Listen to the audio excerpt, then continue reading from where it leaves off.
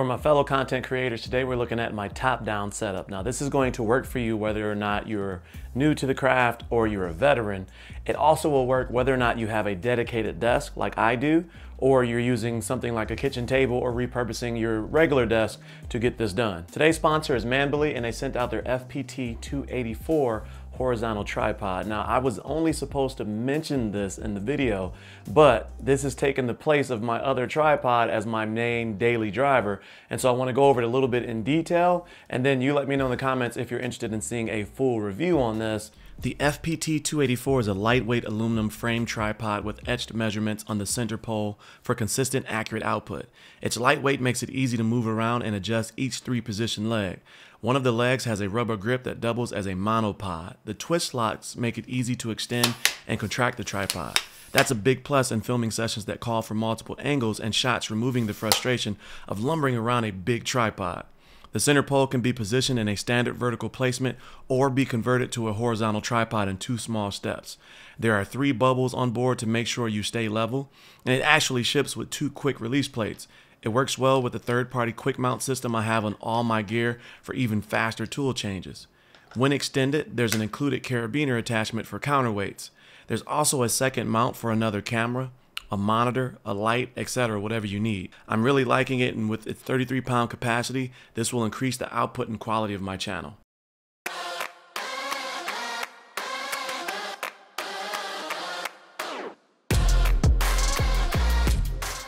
If you've watched my videos, you've seen these next products by Hoto.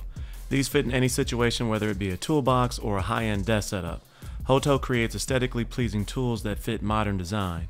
Hoto is short for home tools, and much like its quest to create tools that fit in an art museum, the name is just as cool. I have the precision screwdriver set that I use for small things on the setup and when filming, like adjusting my camera cages, customizing keyboards, working on my PC builds, etc. The power drill is a full-on 12 volt drill. It comes with a complete tool set that can be used in situations that require high quality tools like hanging wall mounts for TVs, monitors, building furniture like when I recently put together my kid's new desk setup, and other more rugged projects. Both of these toolkits, the precision screwdriver and drill, come with ample accessories needed to finish most projects. And all the tools are sturdy and very well built and machined. I purchased this self-locking measuring tape before receiving another in the power drill kit. This measuring tape is just as functional as it is elegant. It fits in a toolbox or design shop without missing a beat. My wife took my extra one as soon as she saw I had two, and she uses it in her clothing shop where she creates custom clothing, such as the Cozy Christopher Crew long sleeve sweater I have on. Lastly, this has been my most used Hoto product. It's a digital smart scale design for the kitchen that I use in all of my desk peripheral videos. It gives me pinpoint accurate measurements in increments as small as 0.1 gram. It connects to the Mi Home app where you can save measurements for recipes or comparing gaming mice and controllers at the end of the year.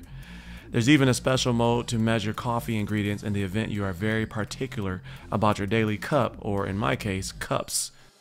So far you've seen the accessories that I use on a day-to-day -day basis, but I have a lot more for special circumstances like dollies and stuff like that. So let me know if you're interested in that content. But now we're gonna look at the actual setup, what it is, and how I use it on a day-to-day -day basis. So let's jump into that portion of the video. The overhead is by Neewer. The only flaws are its narrow base and no mount point exact center. Other than that, it has been perfect. It's a sturdy top down allowing you to mount any camera or mobile phone. It's portable and can be used on any surface, even the floor.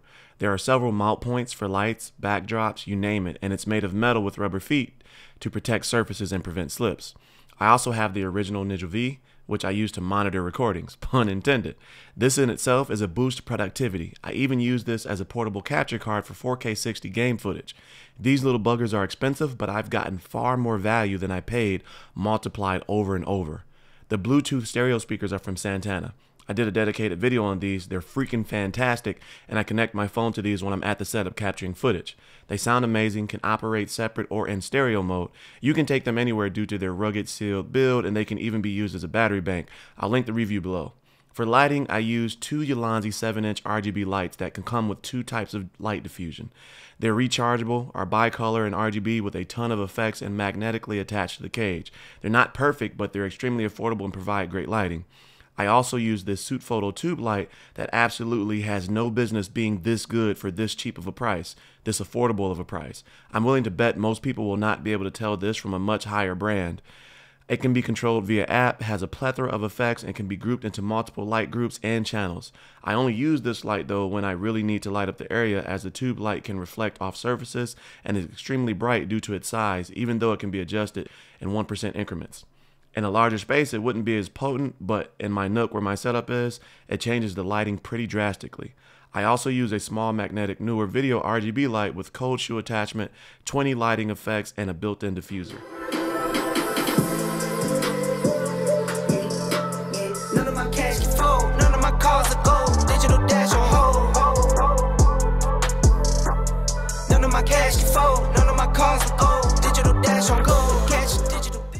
The desk I use for my setup is a Husky 52 by 30 inch power standing workbench.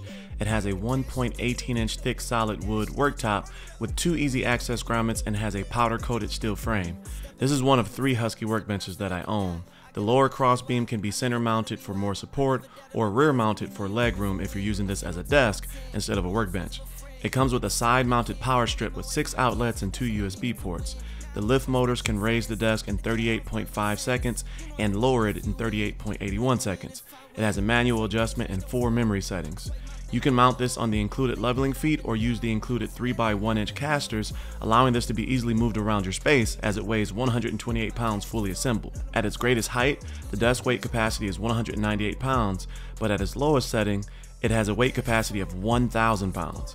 My guess is this is based on the motors used for lifting and not the steel frame. On the leveling feet, the desk height spans 29.5 inches to 47 inches, and on the casters, 32.6 inches to 50.1 inches. The desk knows what height it's at and displays that so you don't have to worry about deciphering the two.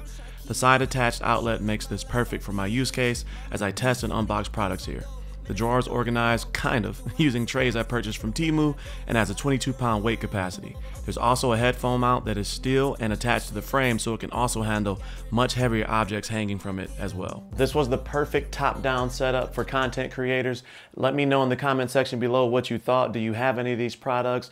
And if you're interested in seeing more of these in the future, I'm gonna be doing more setups, but more of the traditional setups. The desk setup behind me, the desk setup that I built upstairs, my main desk setup for 2023, and some of the tools that I use in those particular spaces. So if you're new to the channel and you like today's content, consider subscribing below, joining the Cozy Coalition. But as always, stay cozy in that crazy world and I'll see you in the next video.